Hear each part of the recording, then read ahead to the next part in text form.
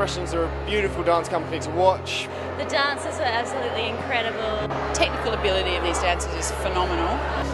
I thought it was fantastic. Lovely to see that kind of quality of technique versus theatrics as well, which is really nice to see.